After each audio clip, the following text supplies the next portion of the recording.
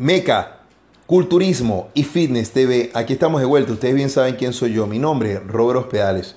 Esta es la imagen más reciente que ha colocado el entrenador de Brandon Corey en su cuenta de Instagram y dice, Brandon Corey no está dormido.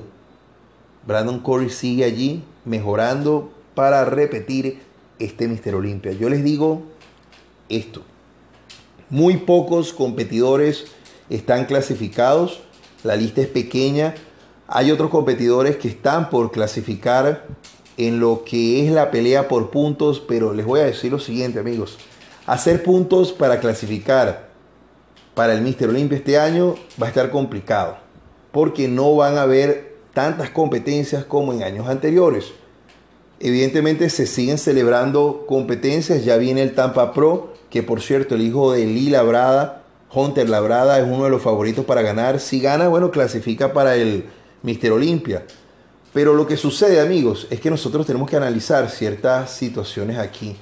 Si todavía se celebrase sin ningún problema el Mister Olimpia en diciembre, que es lo más seguro que suceda, les digo algo. Hay personas que están fuera de ese país, no son nacionales de allí, y están clasificados.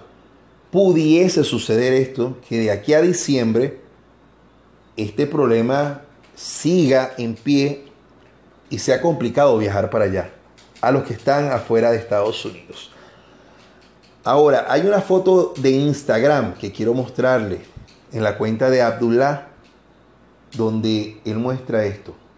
Phil Heath, antes de ser pro, y Brandon Corey antes de ser pro. Él dice que esta foto en específico inspiró a Brandon Corey para pensar que en algún momento hubiese podido ser Mr. Olympia.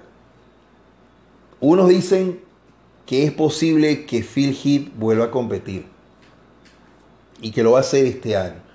Amigos, la única manera que Phil Heath vuelva a ganar es que tenga el abdomen allí bien recogido, sin distensión abdominal. Ahí es donde está el problema, amigos.